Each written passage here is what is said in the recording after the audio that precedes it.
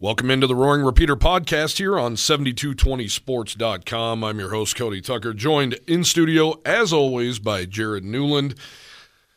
At this time last week, Jared, um, I was in my car flying over to Laramie because about an hour prior got a message that uh, there would be a press conference held in Laramie. Also saw a tweet, kind of a cryptic tweet, because it wasn't outlandish at all saying, you know, happy trails to you or anything. It was very subtle. And uh, then the, then the emails started coming. Craig Bohl, after 10 years at the University of Wyoming, retiring, riding off into the sunset, one final rodeo for him and Laramie. Uh, of course, Cowboys playing in the uh, Arizona Bowl in Tucson December 30th. And in true Wyoming fashion, five minutes later, an email comes out. Jay Sawvel named the 33rd head coach in Wyoming football history. Uh, I'm sure they offered Jared to give Bohl his day in the sun. That's just not his style, and he's proud of Jay Sawvel. A la Gerald Mattinson, same way he retires. They name Heather Ezell five minutes later. And it's worked out well as far as how the press conferences roll. Yeah. It's not like they're bringing somebody in from the outside that might anger a coach, you know, mm-hmm. by why'd you hire that guy, not not within type of a deal. Yeah. So I think it worked out well, and and plus for you guys to be there. Yeah. And for you know, I mean, Wyoming's a small place. We all know that, and there's only so many people that are covering the Pokes. Yeah. So it works out well. Yeah, I guess first question I have for you, Jared, just initial thoughts. I mean, we have been asking, the media has been asking Craig Bohl about his impend, you know, pending retirement. He's 65 years old. Um, he's done this an awful long time. 21 years as a head coach longtime assistant assistant more than four decades in this game. What were your initial thoughts when you heard the news?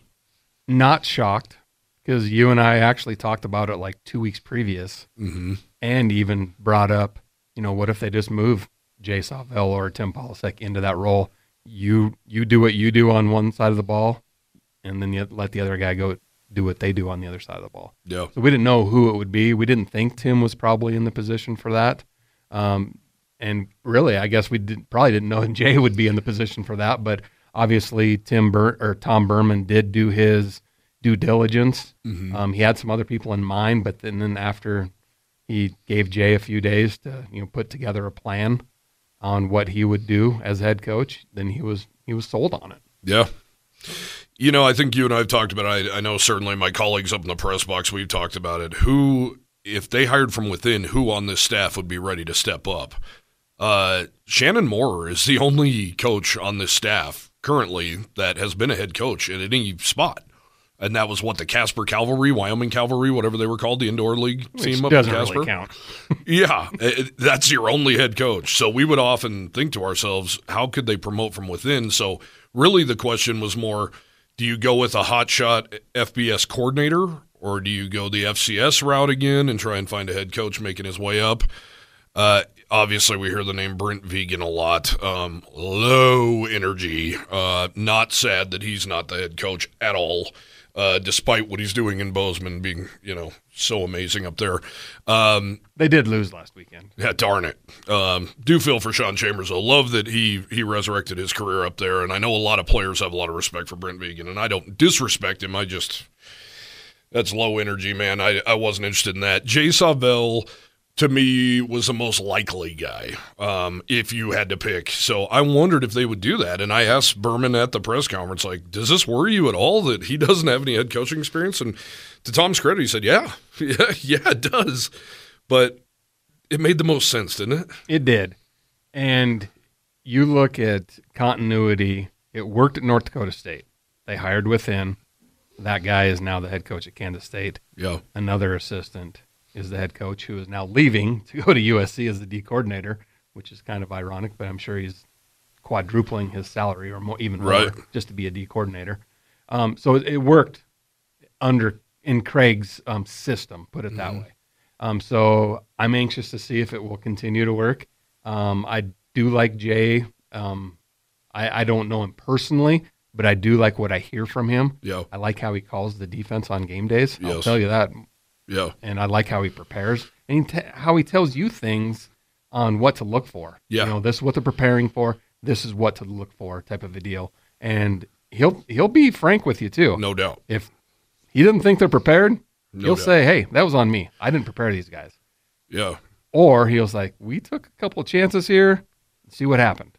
right. You know, all those kind of things. I can't sit here just like you and tell you how this is going to go. Um, but what I can tell you is selfishly, I love Jay Sawvel. Uh, he's, like you said, he's been very open and honest with me.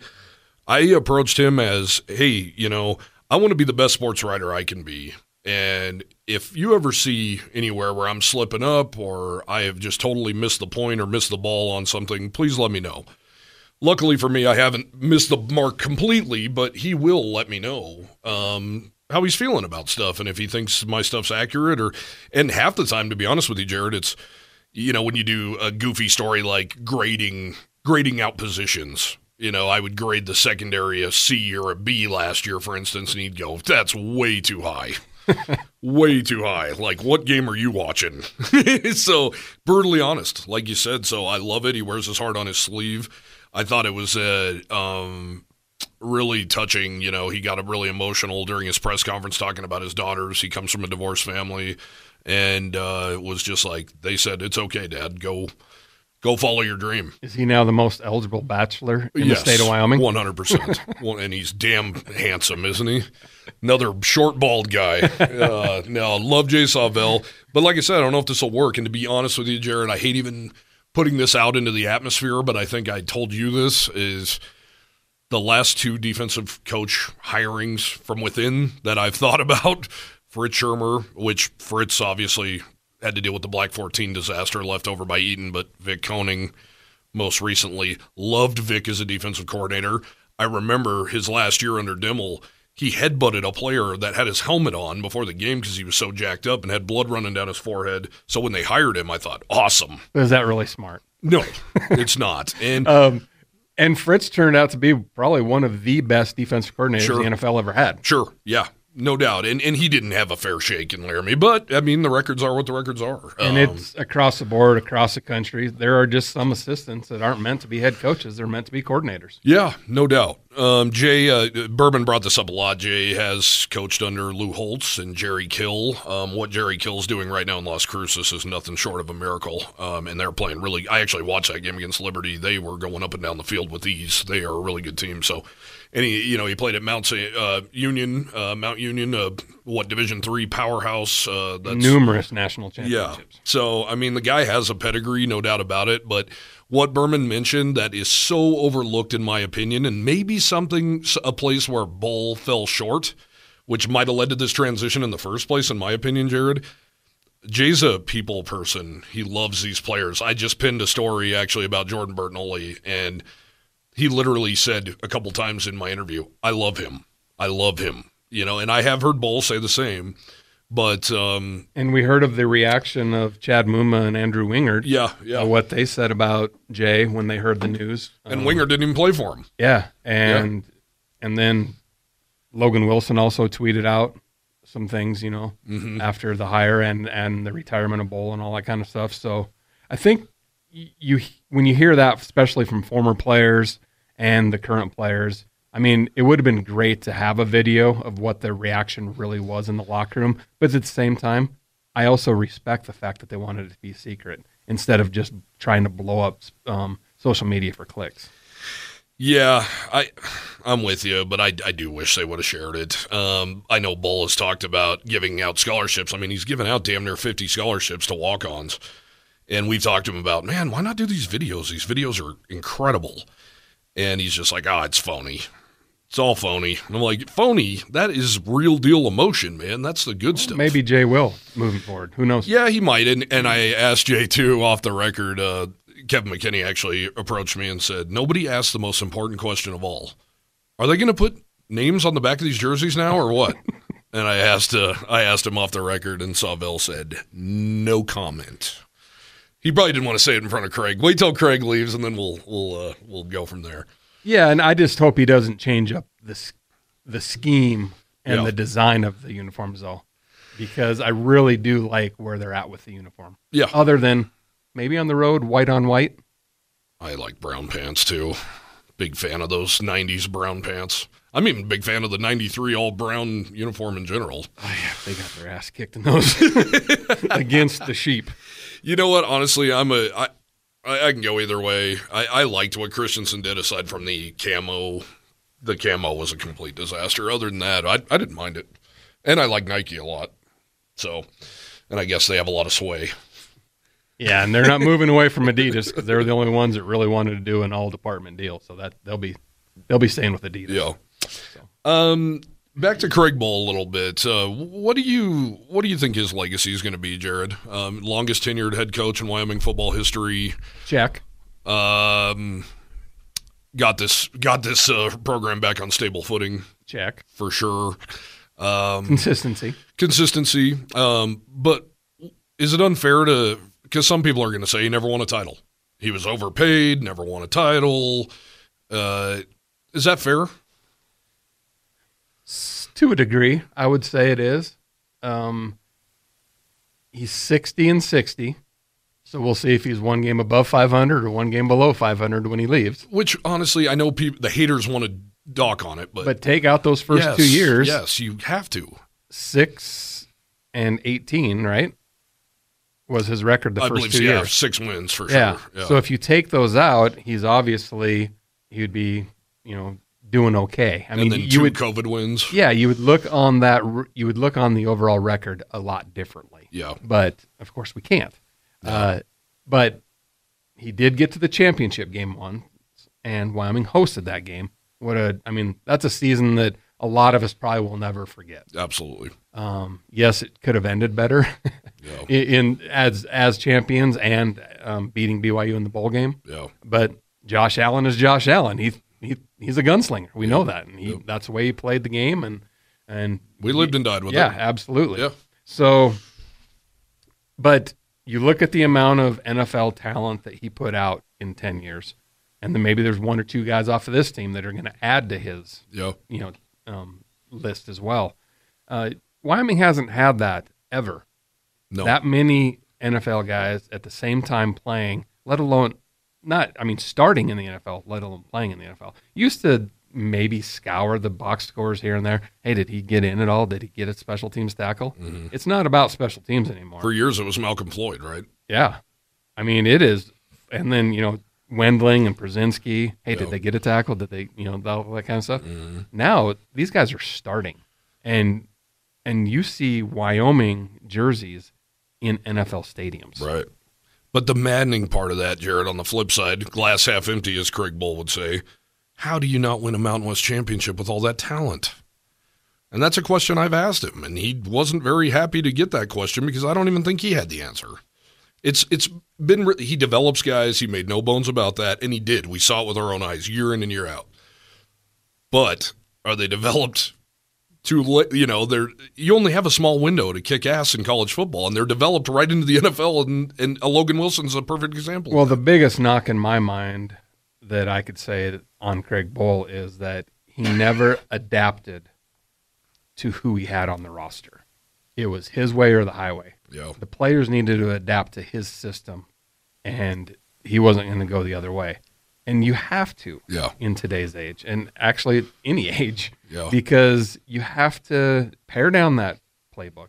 Who cares if it's an NFL playbook? yeah. Not me. Pare it down Yeah. to the talent you have and run the plays that can work for who you have on that team.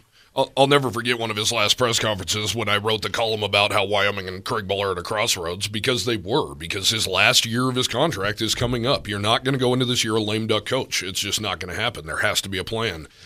But when he stood behind the podium and clapped his hands and was like, we're not basically mocked offenses that are hurry up and, and, and spread them out and how they're so simplistic. One word, clap your hands, throw the ball. The whole goal, I'm just sitting there thinking, man, the whole goal is to play fast and loose and get the ball in your ex- explosive guy's hands, like Jay Sawvel talks about. And you go back to that Nevada game. Now, Grant, I know Nevada's a 2 and 10 team, Yeah, but they were playing a two minute offense a lot of that game. They weren't huddling, and they were letting Peasley do checkdowns, see what the defense was giving him, and then he went with it. And I, I believe you're probably going to see that in the bowl game as well. Um, obviously, with a, a month to prepare, you're probably going to see some trick plays hmm and things like that as well, because you always do in, in especially these lower tier bowls. But that's probably not what the offense is going to look like under Jay and if Tim's still around. But you know, you don't know. Hopefully, I like what that offense was against Nevada. Yeah. Just Oh, because it was Hawaii. yeah, just Yeah. because it was it's not you're not waiting until 2 on the play clock to snap the ball. Yeah. You're just kind of you're in a Flow. flow, yeah. Yeah. It never looked better. And and you've seen that 2-minute offense several times this year at the end of the half where he used to kneel down on balls. Yeah. This year, he was actually moving the ball and trying to score score points.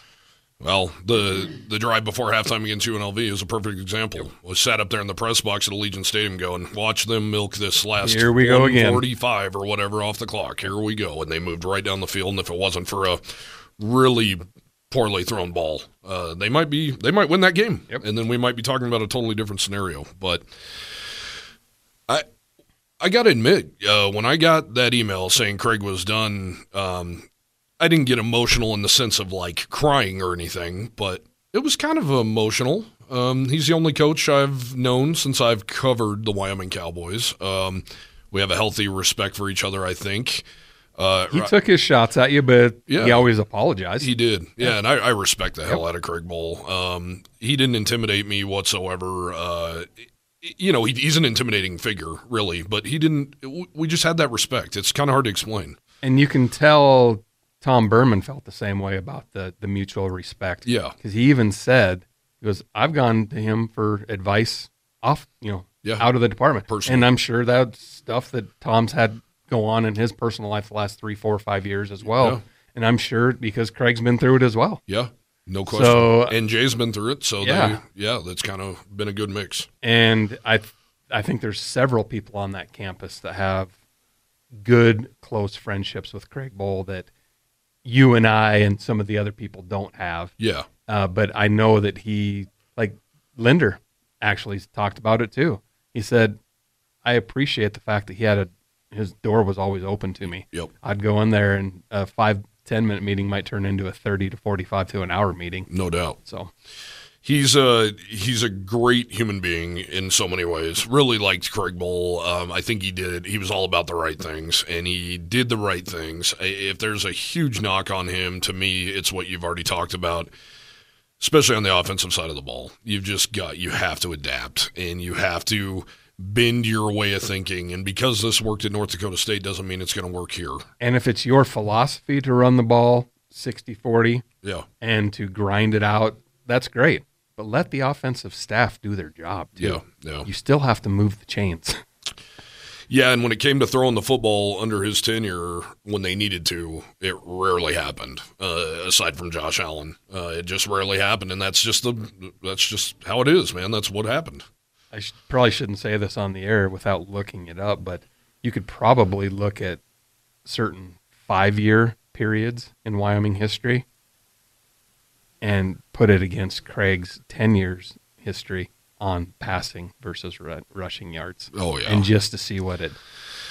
Yeah. I mean, think, think about Tiller's last five years. Or, yeah.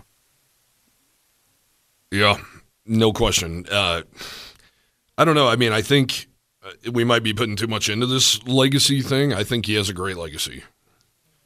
Um, I really do. I think he's going to be remembered fondly. He he's Wyoming.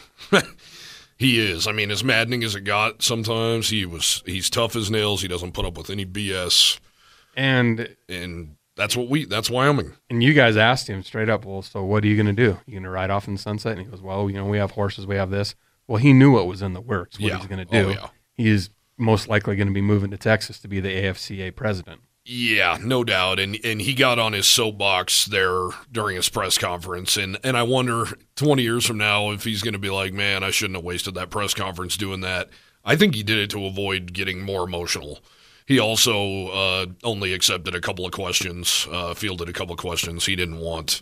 He was very, very emotional, and and people, some people were really shocked to see that. I'm not shocked at all. He's he's teared up and broke down, not broke down, but he's teared up uh, a handful of times since I've covered him. He he really cares, and he really cared, and he's so proud of this, uh, what he's done here, and he's proud of his baby, and, and and like Kevin McKinney said, we wouldn't even be sitting in that building if it wasn't for Craig Bohl, likely. I'm Um, telling you, all as I was told those first couple years he was here, he pr- he spent more time in the foundation Yeah, than he did in the football facility. Yeah, He and the president of the foundation, Ben Blalock, became very tight very quickly yeah. on what his vision was and what they needed. Good for him, Yep. and it worked. Um, and now, obviously, the west stands are completely gone. The whole lower section's completely gone. And does that happen without Craig Bohl? Do people pull and reach into their wallet if, uh, if for a guy like Dave Christensen uh, or a guy like Craig Bohl? Uh, you know, and the one thing I will say that Jay Sawvel said during his press conference that kind of was like, "Oh, Jay," he said, "Man, I'm just a football coach. I'm not a PR guy." Unfortunately, you have to be and he already talked. He joked about like, I don't know how I'm going to be like Craig and go to the Senate and or you know go to the state legislators. And I'm like, I'm thinking to myself, just bring the bronze boot and smile. Yep. Um, but that's stuff you have to do. You have to hobnob. And Joe Glenn was obviously the best at it. I think Craig Bohl kind of mastered it. He wasn't over the top like like Joe Glenn, but he'd also shake every hand. Craig's was in a business manner. Yes. Where Joe's was in a rah rah Yeah, slash business manner. but I loved it. oh, it was awesome. I love Joe Glenn. Absolutely love him. Uh, I'm I'm gonna miss Craig Bohl.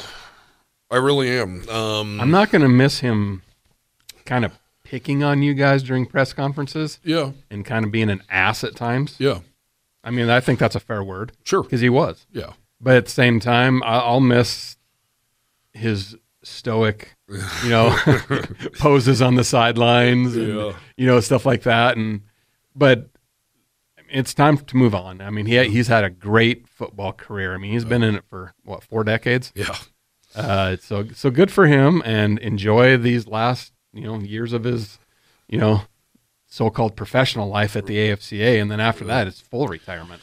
He's going to be great at the AFCA. Well, and you, I guess hindsight twenty twenty, you could probably see it coming. Oh, totally. Yeah. He was the president, Yeah, and now he's actually going to be the director. yeah. So He's in the. He has his hands in every committee you can imagine. he loves the rules because He he'll he'll the tell you guys about the rules. yeah, we love the So, rules. um, and he's got his hands full though on with everything coming down from the NCAA president in the last week too Yeah. on what his vision is Yeah, of these subdivisions. You know, so it'll be interesting to see how maybe Craig and uh, the president of the NCAA meet here at that convention yeah, shortly and kind of like what is this all about and explain it to me better. right. You know what was kind of um, awesome yet frustrating during Craig Bohl's tenure, in my opinion, uh, because I was a fan for the first part of his tenure, um, covering other teams outside of the state. He man, he would just kick dudes off like no problem. Like no second questions, no nothing. He even did the same with Willie Mack Garza, a, a coach on his staff, when he got a DUI. It wasn't, you know, issue an apology, do some community service. It, was sorry, Willie, you got to go. And um, he did that with players. I mean, Javari Jackson comes to mind. Uh, Youhanna Ghaifan comes to mind. Uh, those guys were gone well before the uh, well, especially in Ghaifan's case, well before a uh, an investigation was Yeah. complete. And from all accounts, Gaffon was one of the best defensive tackles this university's probably ever seen. Yep. Uh, he didn't put up with anything. However, no nonsense. However, did hear toward the end of his career, you know, you can see in the police reports they're readily available to anyone. I didn't feel like it was worth writing a story, but there were a couple of players that got misdemeanor charges for marijuana, stuff like that, that remained on the team. And I think he handled it internally, but uh, I think early Craig Bohl might have said, oh, busted for anything? And, See ya. and folks, don't text Cody and ask him who it was. Yeah. If you really want to know, look for yourself. Yeah, I had to look. You're going to look too. Damn it. Um, but yeah, overall, I I just think he was a he was a just a, a football man and a really good coach, and it was really cool. I never in my lifetime thought that we would see a coach be here for ten years. Um, never saw that coming because my whole life was coming and going with with head coaches and maybe Tiller would have stayed for a long time. Uh, Burman mentioned that at the press conference that you know Wyoming just for some reason never fully got behind Joe Tiller. Well, and what really came down to that too is Lee Moon didn't respect Joe Tiller, Yeah, and Joe all he asked for was not a race for himself, but a race for the assistant pool. yeah, Lee wouldn't give it to him. that's insane. Yep. So happy for Joe and what he ended up doing too. But Burman, you know, was obviously born in Laramie or raised in Laramie. He uh, he talked. He compared him to Paul Roach, Craig Bohl, that is, compared him to Paul Roach. Uh, probably that steadying older gentleman hand he had on the program, and uh, and Joe Tiller, who was just uh, should have been beloved but wasn't.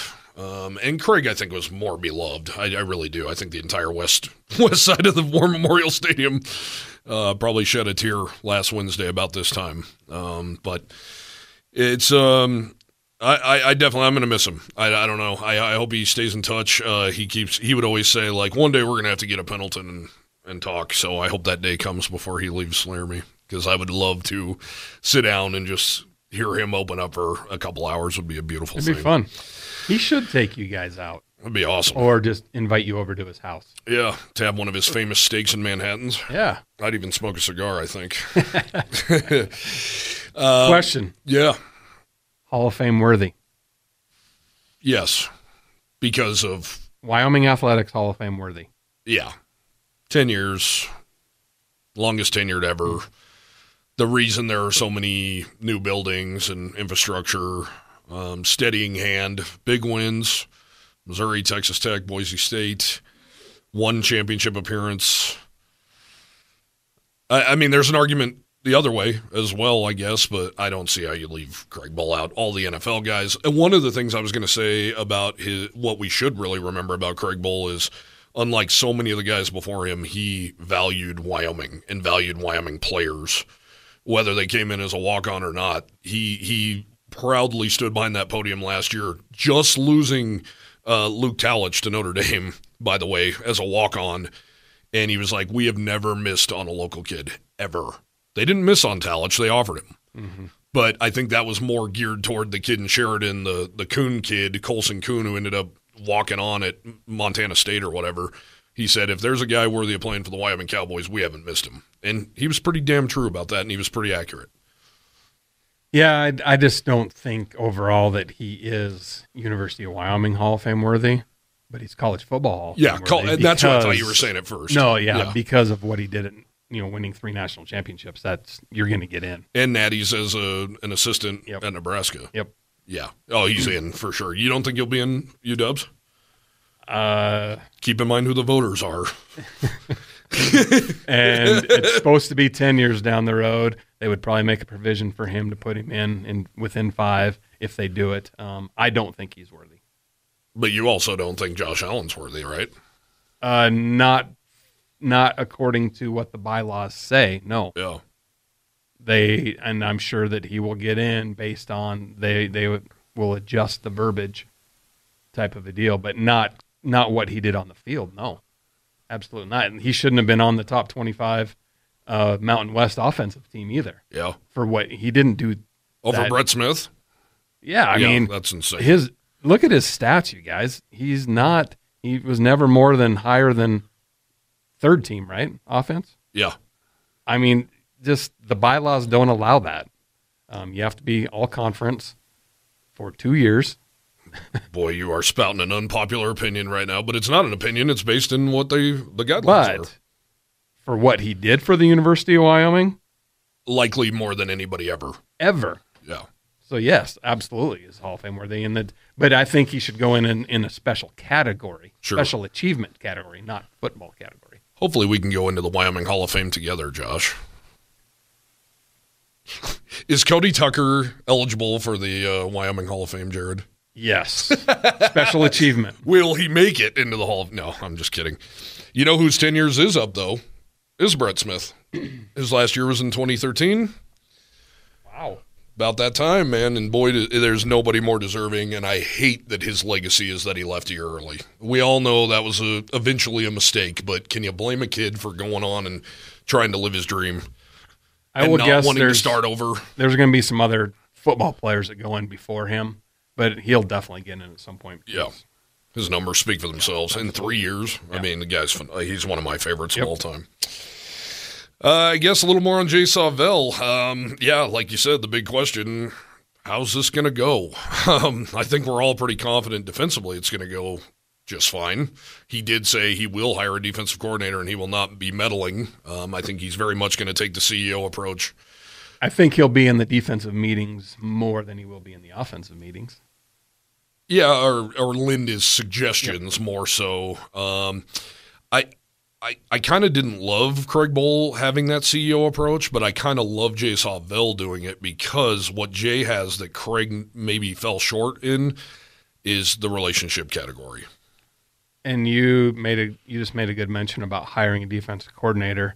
So what we've heard is that some of the money that they're not paying Jay compared yep. to what Craig was making, there's going to be more of a pool of money available for assistant coaches. So that means yes, hire that defensive coordinator on top of what Jay's getting paid, and most likely a special teams coordinator. How about a quarterback coach? Amen. Are there? I mean, I haven't done any research on this. I must admit. Are there quarterback coaches at bigger programs alongside the OC, or are they all the same? Um, I bet you there's some that are both. Uh, you know, that OC and quarterback coach, and then there's the OC might be handling maybe he's the running backs coach, oh. and then there's a quarterbacks coach that um, takes care of the passing game, and then the OC takes care of the running game. You know, something like that. Yeah. On planning. Well, you know, Sawvel's thought about this. He's definitely not mentioning anything public right now, but who stays on this staff? Um, they obviously need a new defensive coordinator, but does Tim Polasek go back to Fargo with an opening there and what he did with Carson Wentz and guys like that mm-hmm. in Fargo? Um, and, know. you know, that the timing of this bowl game is actually really good for coaches to stay on mm-hmm. because the convention's the following week. So you know that they'll they'll, they'll they're all going to stay on unless they get some unbelievable offer. I mean, yeah. even guys that are that have said they're going somewhere else are staying on until their bowl game or their um, championship game yeah. or semifinals are done. So, uh, but I I bet you there's probably going to be. I'm just going to throw it out there. Over unders two, which would be huge for a Craig Bohl staff. Yeah, honestly. I mean, if you think about it, that's another thing you have to think about with him, good or bad, is he he held on to dudes. I mean, but then you talk to a guy like Frank Crum, and he's like, I played for six offensive line coaches. Yeah. But when you're the offensive line coach at Wyoming, you're going to get a look. Uh, to me, when you talk about the most valuable guys to hang on to, uh, I got to start with Gordy Haug, um, not only the running back coach, but really the recruit, recruiting coordinator – Obviously, he's done a bang up job. He's been Bohl's right hand man for needs to get a rid long of time. Bill hat though. he's, I mean, he's young, up and coming. He really relates to players. He's done a. Nobody can say that guy hasn't done a fantastic job. Agree with you uh, there. And then I would say Oscar Giles, um, what he's brought to this program has been worth its weight in gold. I mean, he has so many hats he wears, and maybe the most important, aside from recruiting the state of Texas, is being a freshman head coach. And of course, there's not freshman teams like there were back in the day, but living in the dorms with the freshmen and being that voice and being the hang relationship, yeah, being yep. the guy who you can come to and not get screamed at, or you know, he he can be like a big brother type or mm-hmm. an uncle. I agree with you there, and obviously Brian Hendricks, yep, very important recruiting wise. I mean, yep. former player at Wyoming, but Colorado recruiter, and uh, he has other territories as well, but really concentrating down there and um, I'll go. Um, trying to think of the other. Oh, Aaron Bohl. Yeah. I mean, who can argue with what he's done with linebackers? Yeah. Now, is it a gift? Yeah, I mean, a little bit of, the, both. A little bit of both, but he's still coaching them up. He also was raised under in Craig Bohl's household, and Craig made his mark as a defensive coach. Wonder how tough he was as a dad. I imagine he but I can't imagine. But he Aaron. wasn't around a lot. Either. Right, right. And I don't imagine Aaron being the type of cat to really step out of line all that often. He's a pretty mellow cat. But uh, I did ask Aaron off the record. Um, you know, I said, "Hey, congrats to your dad. What an unbelievable career. I hope you're sticking around." And he just said, "Yeah, thanks. I'm really proud of him." And I'm like, "I, I really hope you're sticking around." Don't know. I, I don't know, and maybe they don't know. Yeah. Um, is anybody on this team on this staff ready to slide up and be a DC? You and I talked about it kind of like right after the press conference. And I mean, you have to have a knack for calling plays mm. and game planning. Not saying that they've, they're not all in the game planning meetings, but calling those plays as they're happening on the field seeing things on the field to know what what's coming or projecting what's coming. Sometimes you get beat, and other times you call it perfectly. We we all know that on play to play, but I don't know if there's somebody on the staff that could handle that. I don't know either, but I do know Aaron Bohl's been under Jay Sawvel for four years, and he's been under his father for 30 years. So you would think, you know, he's learned some things. Mm-hmm. Uh, one thing that would be weird, though, is uh, Aaron Bohl coaches from the press box. I'd imagine moving down to the field could be a whole new, not to mention calling plays, could be you don't see a lot of coordinators, though, on the field. Yeah, Jay loved it. But you know who who was down there well was Mike Breske under the Joe Glenn era. Yeah, he called the defense from down there, and Mike Breske was one of the better defense coordinators. I think around too. I think Jay actually told me he, he you know, I want to talk to these guys. I want to have face to face, eye to eye contact with them if things aren't going right or if you know whatever. You just made a good point though, because if Aaron's the one that's in the booth telling him what he's seeing from high above, because Jay can't see that yeah. same stuff from high above, maybe he is ready. Yeah. I don't know. It'll be interesting. And then Oscar Giles, I mean, he's been in this game a long, long, long time. Uh, I don't know. I mean, he just seems so content with what he's doing right now. I mean, just he obviously is, even has his hands in on special teams. I mean, that guy wears so many hats. It, it's incredible. That man. Yeah, pay him. Pay him. Yeah, Wyoming has done wonders in the state of Texas. Another big question that I thought of, you know, a million things went through my head the minute I got that email about Craig, uh, which, by the way, bravo to the University of Wyoming. They kept that one tight. Not a lot of people knew that was going to happen. Um, are these recruiting? Uh, my first thought is this is, man, recruiting signing days in like two weeks. Uh, was this the time to call it? Or do you sucker them and wait till they're signed on the dotted line, then you quit? I think they the did. Word. By the way, retire. I think they did it right because in you're you're being honest with the players too. Yeah. Then they're like, you know what? Sometimes you do go to a place because of the head coach, but you're not around the head coach as much as you are your your position yeah. coaches. Yeah. Or your uh, strength coach. So they have better relationships with those guys than they do the head coach. Yeah, and I'm thinking they didn't tell, they didn't spill the beans to these guys either, because I've I've interviewed a handful of these incoming recruits, and you would th- I'd be like, you know, what what do you think it's gonna be like to play for Craig Bohl? And you would think an 18 year old, 17 year old kid would go, oh, he's he's retiring. Uh, you didn't hear? Yeah, none of that was even yeah. kind of leaked. So uh, Jay Sawvel did say they had 18 at the time. They've added a 19th since. Spencer Rathman, son of uh, Rob Rathman, uh, former awesome center for the nine, late 90s Cowboys.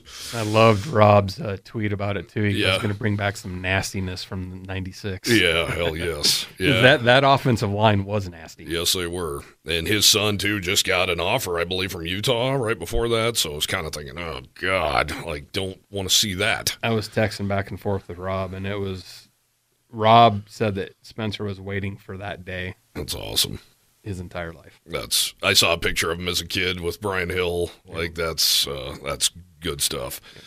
And uh, he he put in his little message uh, to the fans that um, I look forward to building on what Craig Bohl did over this last decade and working with Jay Sawvel and Brian Hendricks and um, good stuff. And you can tell he's a fan. He Wyoming needs more legacy players. Yeah, uh, there's been a lot of a lot of guys that have gone elsewhere. Yep.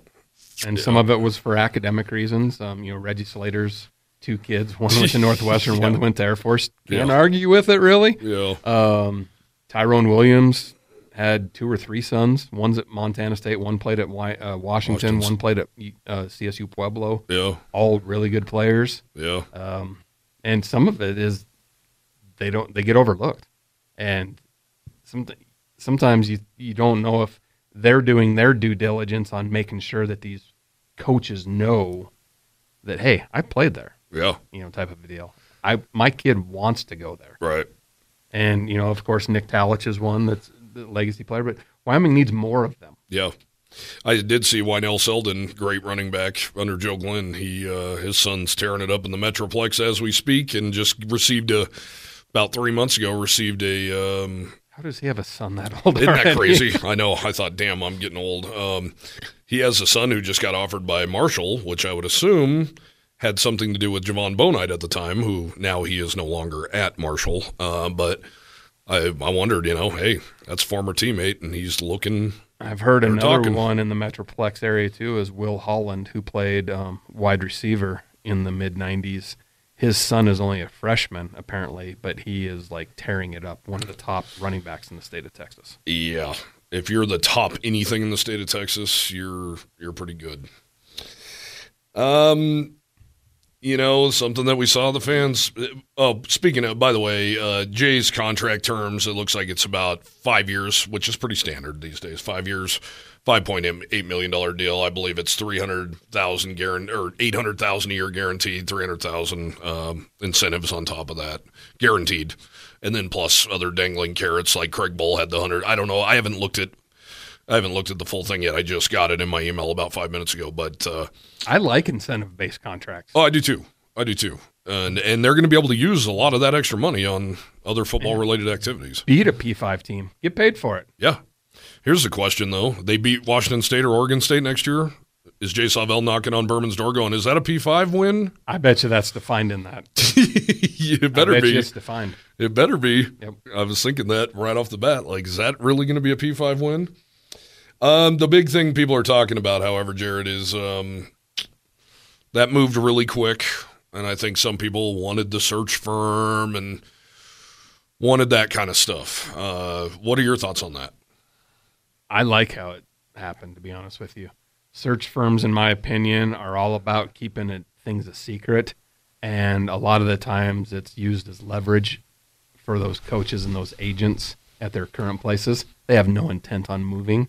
They're using it as leverage to get paid more where they're at. So um, I'm fine with how it went, to be honest with you. Yeah. Um, I thought Tom and staff did a great job on, like you said, keeping it a secret Yeah, they really and did. then um, then getting it done. Uh, I'm obviously time will tell, but I I feel good uh, going into next year. Somebody actually asked me yesterday, "Well, what do you think the record's going to be next year?" I'm like, "Well, I mean, first of all, we don't even know what Mountain West team is getting replaced by Washington State or Oregon State, but at the same time, I just threw it out there, said eight and four again. Tough schedule next year. Yeah, Really tough schedule. at ASU, hosting BYU at North Texas. one of the Washington State or Oregon State. Um, I don't think Wyoming would be lucky enough to lose Boise State off their schedule for one of those. So you could probably say Boise State, It'll probably be UNLV or Nevada that doesn't get replaced. of course. Or, yeah. Yeah. most likely. CSU and Air Force are protected, of course. And hopefully Air Force is in November. Yeah. Uh, for lack of a better term, um, most ads their balls would be on the bandsaw with a hire like this. If it doesn't go well, is that one where say I hate to even say this, but say it turns out Vic Koenning-ish. Is that kind of a straw that broke the camel's back for an AD? Definitely. And I'm not saying Ber- Burman's done a great job in so many But also ways. Tom's getting to the point where he's he's looking at retirement down the road too. True. You true. know, I mean he's had I don't know if he's had opportunities to go elsewhere. I know he's looked elsewhere a couple of times. Yeah. Um, but I mean his name was mentioned as possibly the Mountain West commissioner replacement. Yeah. when Gloria got the job. Not, I don't know what if he was actually out there. His name was mentioned, Yeah. uh, but And he does the bowl committee things. And he's done that. with that. Yeah. Uh, he's off that term. But yeah, he. I mean, he's negotiated a lot of TV contracts on behalf of the Mountain West Conference. Um, I could see him, say, five years down the road, Tom might be retiring himself, and uh, and he moves into one of those consultant roles, as a lot of retired ads do. Yeah. He seemed awfully confident with this hire. Um, Well, you have to be. sure. Yeah, you do. Um, but and he's he's betting on the come. Yeah, and I and I loved that. I I have always respected and loved Tom Burman's transparency. Um, he could have said, "No, it doesn't bother me that he hasn't been a head coach." Uh, yeah, hell yeah, it bothers me because it bothers. I think it bothers everyone a little bit. I mean, because it's just the fear of the unknown.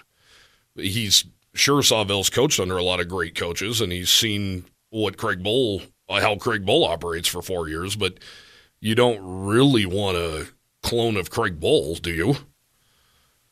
No, you, you, but I think a few questions that were presented to Jay, he kind of said, "Well, we'll talk about that later." Yeah. You know, type of a deal. So, like, I think you said it great off the air about he doesn't want to say something in front of Craig to undermine Yeah. what he has done Yeah. or what he's still doing up until the bowl game. I think you'll see some new things, some new wrinkles Yeah. uh, you know, as things are out there. Uh, maybe maybe it's a totally different spring practice schedule. Who knows? Maybe they're going to practice at 6 a.m. maybe we maybe we can watch practice.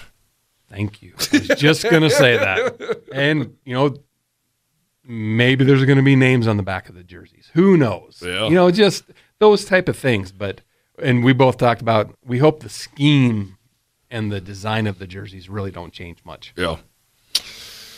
Yeah, and, and you know the other big question too is, and I wanted to ask this, but I just didn't feel like it was appropriate at the time. Um, what kind of offense are you going to run? Is it going to be drastically different? Um, he just said, "I want to get the explosive players the ball, and to be explosive on offense, you have to get explosive players the ball." I think we can all agree. Ayir Asante should have had about quadruple the touches in its MC set this year, like when Ayir was here. just like when Ayir was here.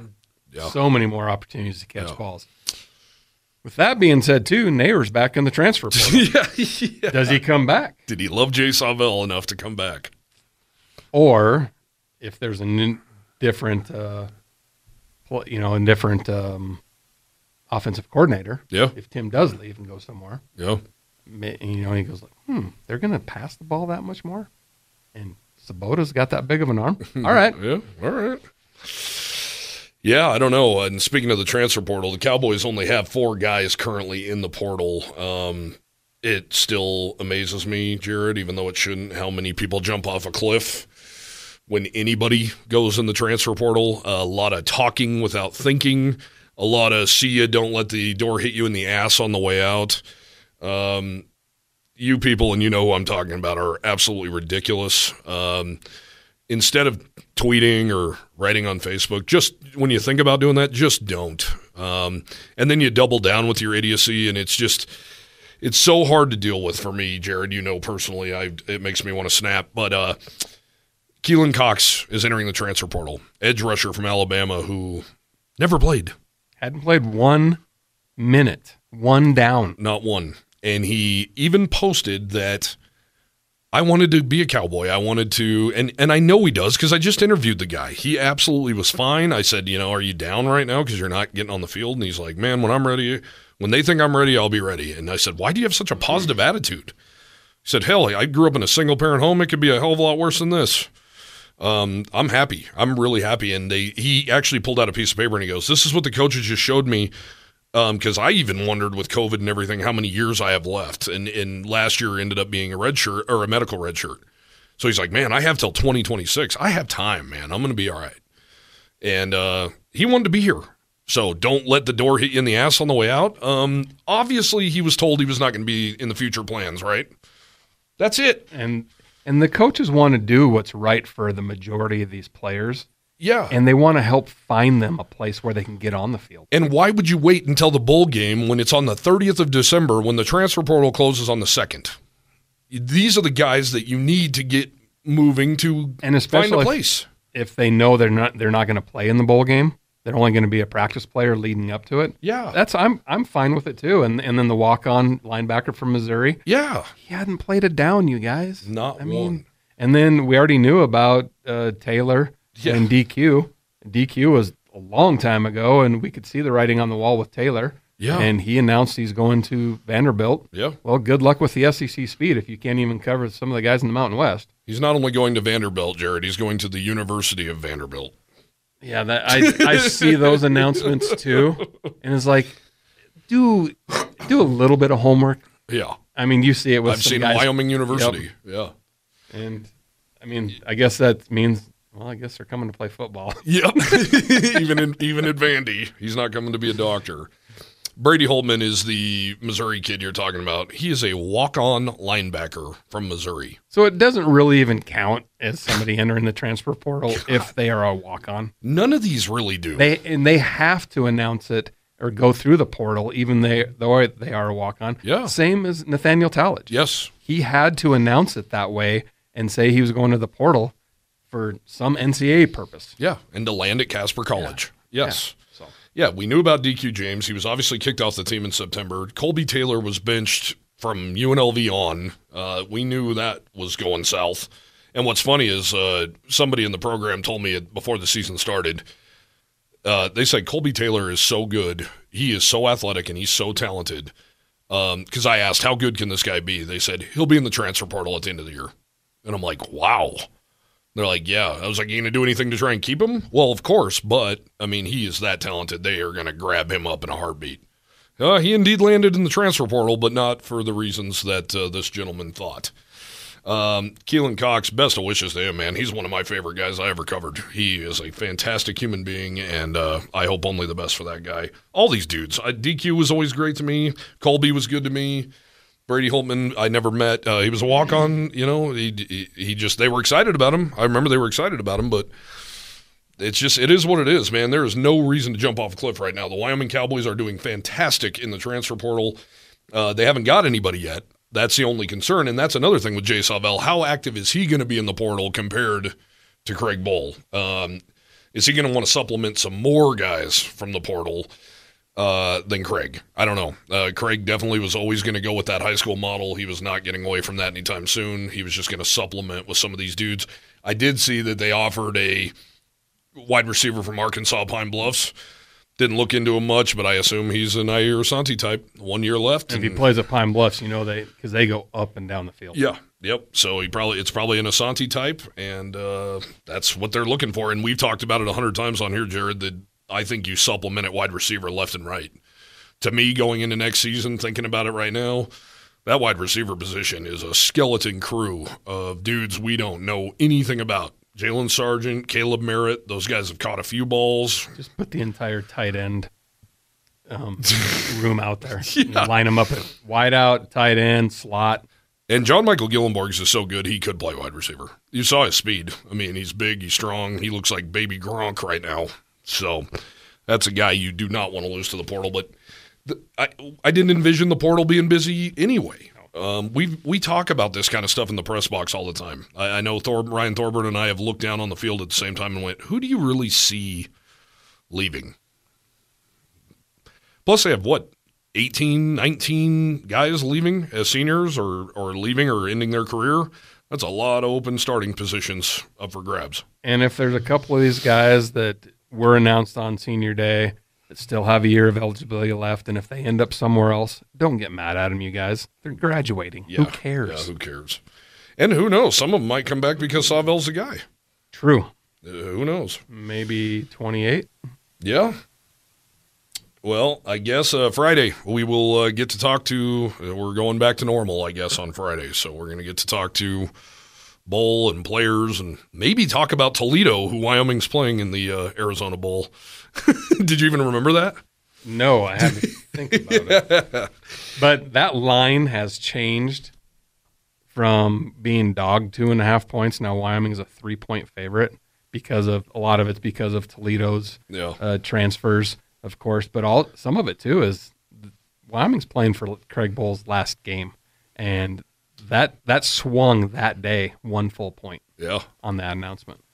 And um, so if if you bet the money line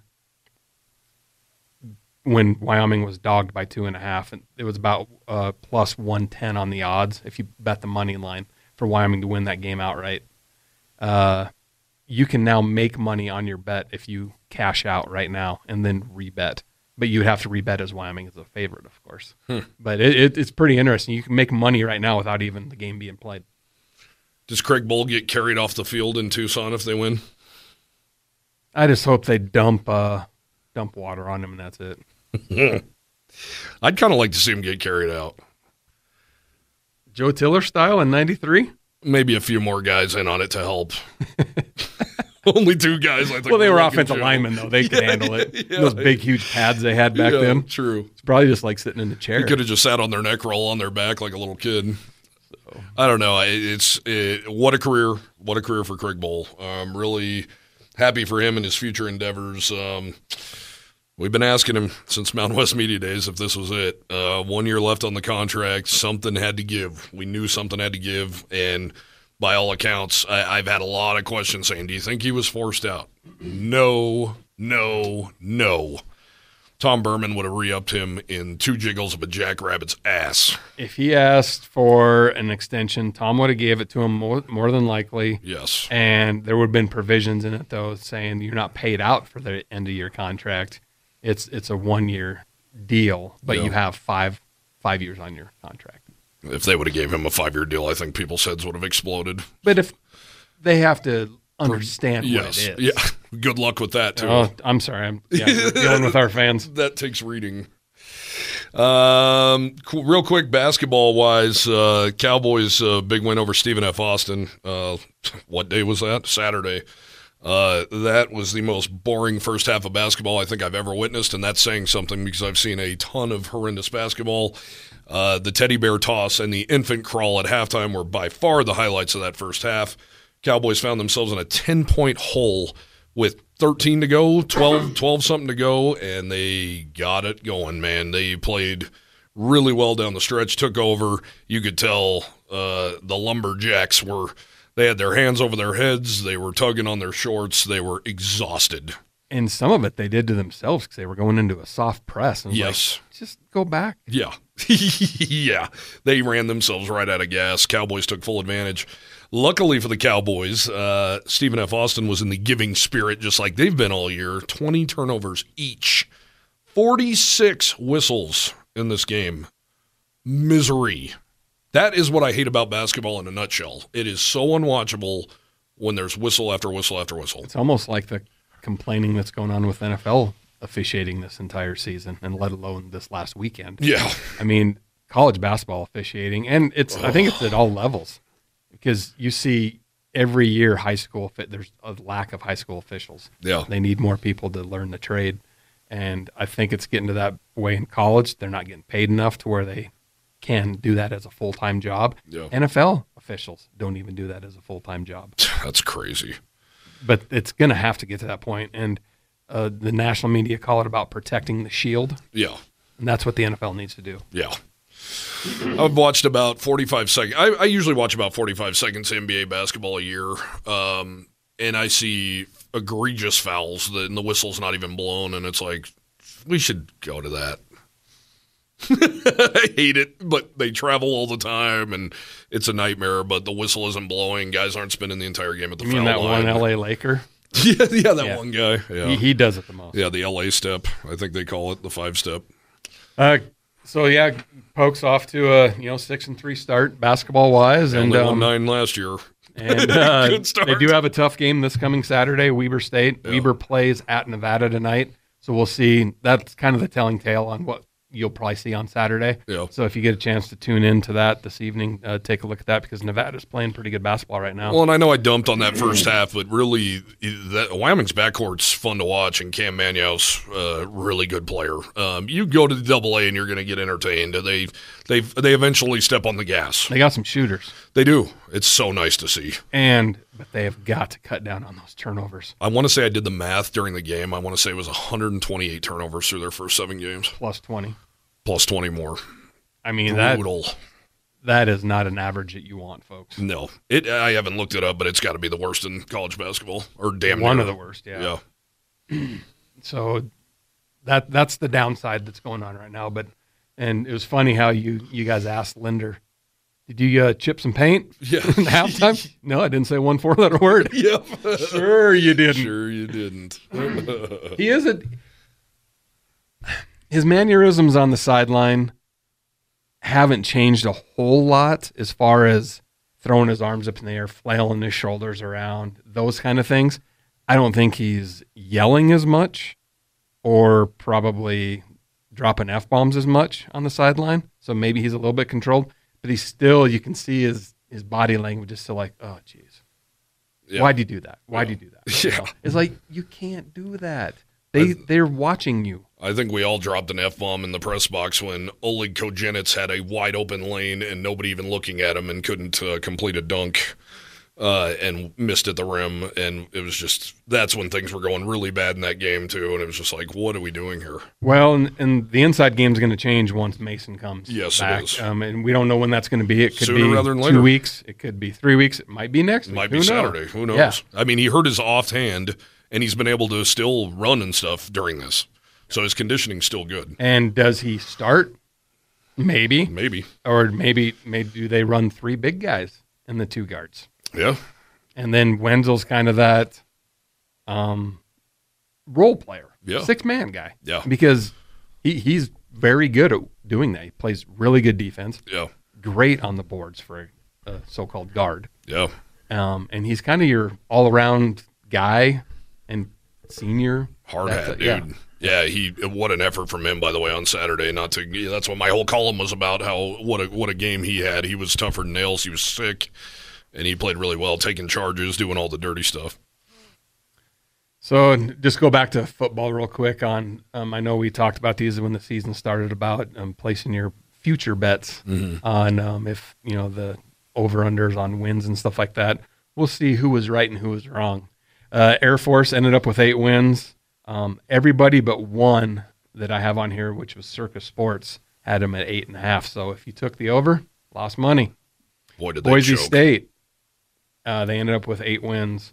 Uh, a couple of them had it at seven and a half. Others had it at eight and a half. So depending on who you used, Mm-hmm. that's why I say you need to shop around on getting your best best odds on these. CSU, um, some people had them at five. Most of them were at four and a half. So they they actually covered that Yeah. with their five wins. Uh, Fresno State, you lost money on. Everybody had them at eight and a half for the most part. Hawaii, you won money on. Everybody had them at three and a half.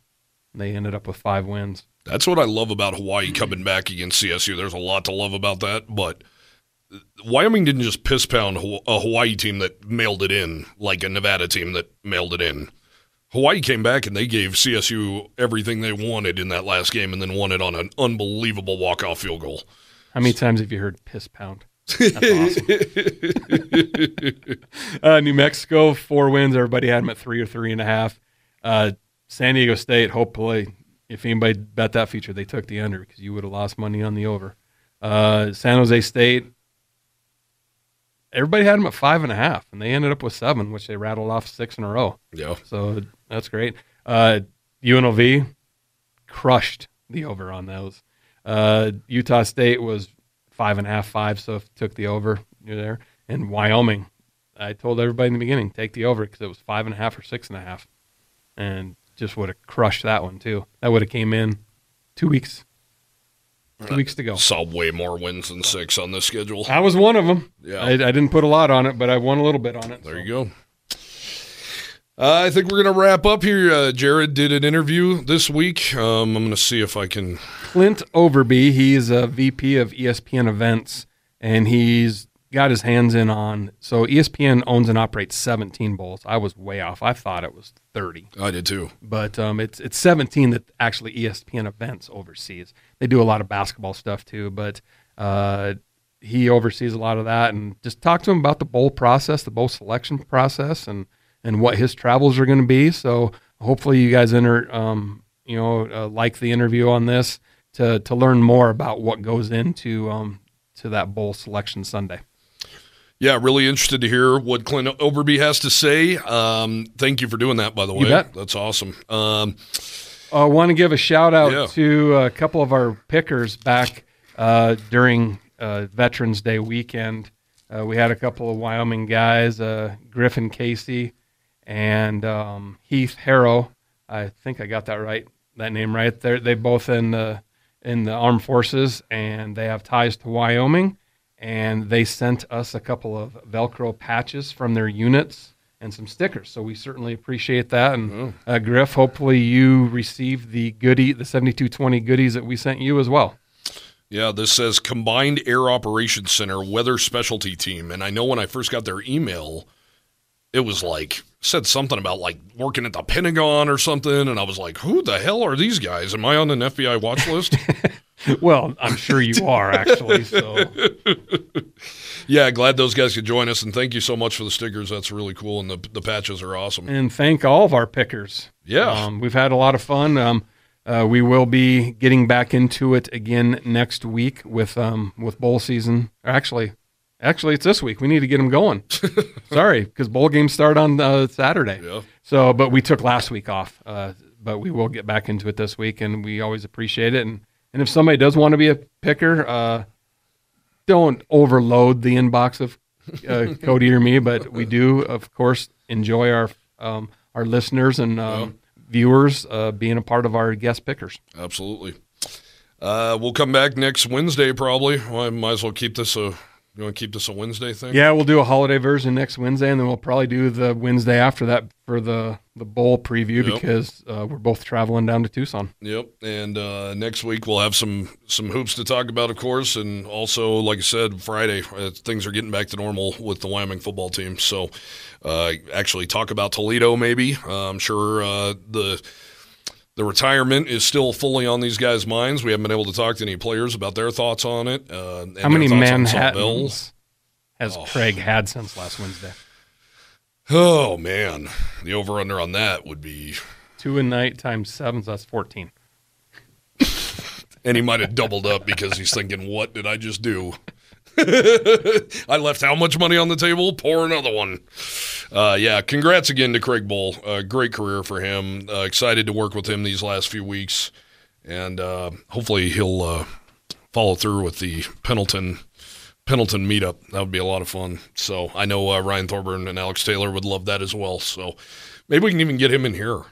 We'll just drink whiskey on the air and just tell Craig Once tell he- us everything. Once he, I guess I don't know if you have to be in Texas to be the AFCA president. Or maybe he does have a house in Wyoming and a maybe an apartment down there or a house in both places. I don't know, but um, it would be good to have him in here sometime and do a do a happy hour version. That would be a lot of fun. have a couple, and maybe he opens up just a tad bit.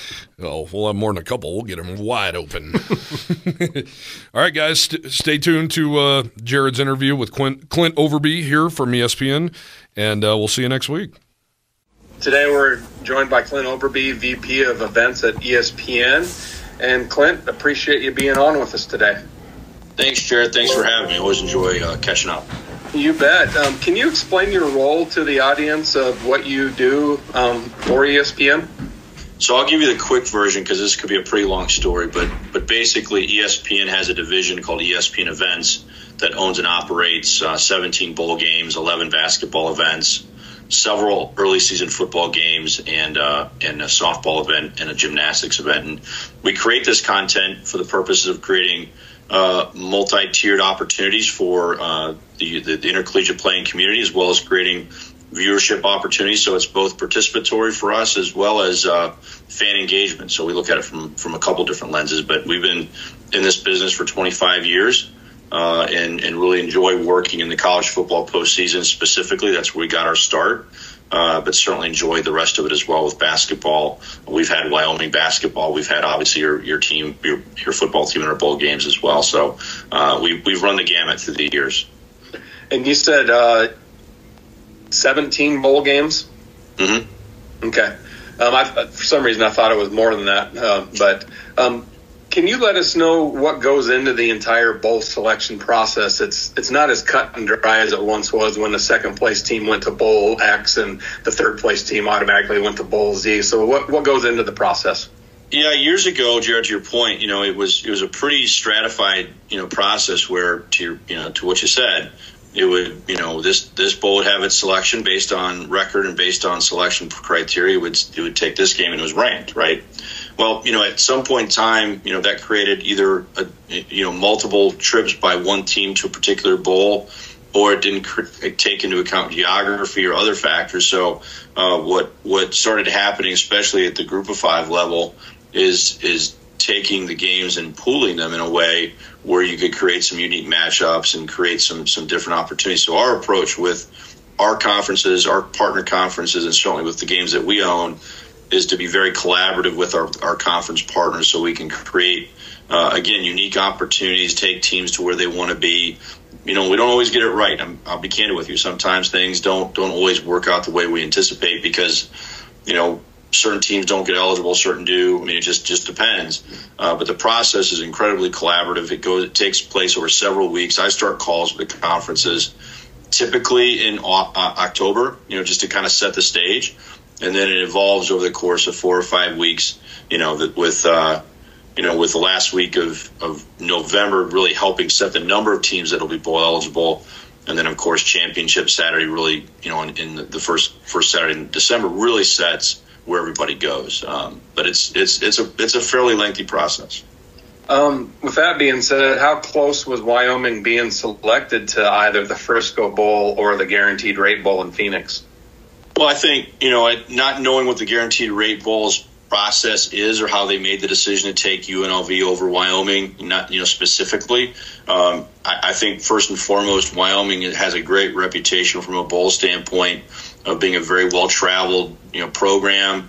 Uh, players are always energized, participate well. Coaching staff, administration, all of it is always very super engaged, and of course, your fans are, are just wonderful. So from from a standpoint of where teams want to, you know, where bowls want teams Wyoming's always at the top of the list from from a Mountain West standpoint. Um, in terms of you know Arizona selection versus Frisco, it really came down to just where people could go. Um, I know Arizona, or I'm sorry, Wyoming's been to Arizona a couple times over the last several years. Um, you know, the, the, good news is it's a great experience.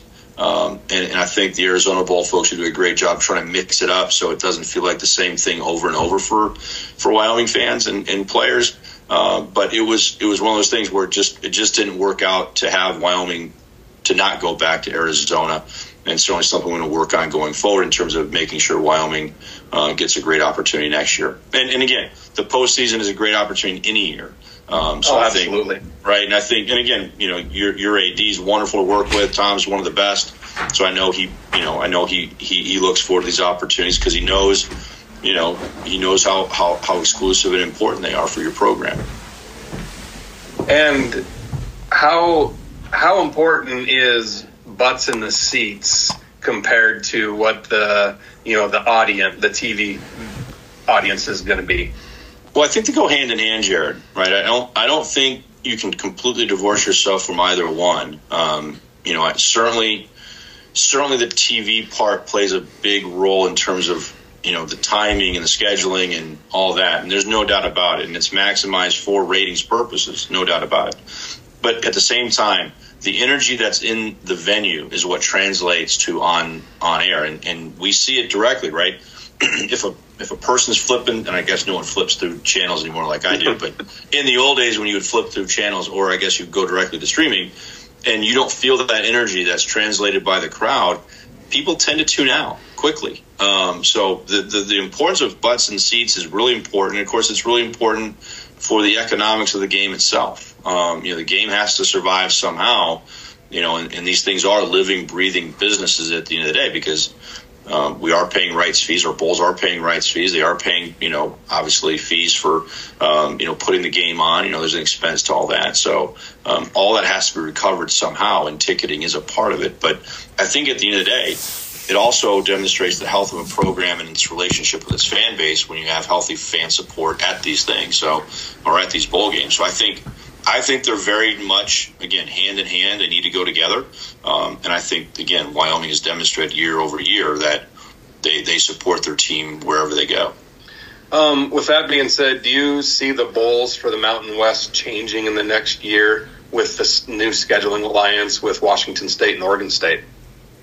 You know, I can't predict that right now. Jared, I think we got to get through this year first before we start really seeing what the impacts of full realignment looks like. And I think, you know, as we've been going through this for the last couple of years, no one anticipated the dissolvement of one full league. And, and so the absorption of that within the current bowl ecosystem will take a little bit of time to work out. So will it look different? I can't say that.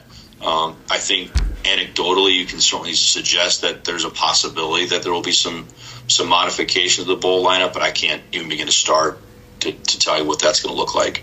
Okay. What's your travel schedule look like with um, out of the 17 bowls? How many do you hit? Um, I don't know so much hit games. I try to hit functions where I know I can see as many people as I can. So I'll try to hit between eight and nine bowl games in our lineup. Um, you know, hit various functions. I'll, I'll, make a couple of games out of that. Um, but I find it's it's really important. One, I want to see uh, I want to see our partners face to face. I enjoy that part of the job. Um, I also like being in our in our local communities where our people do a lot of great work putting these games on. So I like supporting their efforts as well. Um, so I I enjoy that part of the job. I think it's one of the best parts of what I get to do. Okay, good. Yeah, I think the last time we ran into one another was one of the New Mexico Bowls that That's right. was participating in. So that's right. Yeah. Well, certainly appreciate your time today, and um, you know, have a happy holiday season and um, bowl travel season. Certainly appreciate you. you having on being on with us today. Thank you, Jared, and good luck to you guys as you play uh, Toledo. All right. All right, appreciate it. Thanks a lot, Clint. Take care. Be well. Bye bye. For the ones who know safety isn't a catchphrase, it's a culture, and the ones who help make sure everyone makes it home safe. For the safety minded who watch everyone's backs, Grainger offers supplies and solutions for every industry, as well as safety assessments and training to keep your facilities safe and your people safer. Call clickgrainger.com or just stop by. Grainger for the ones who get it done.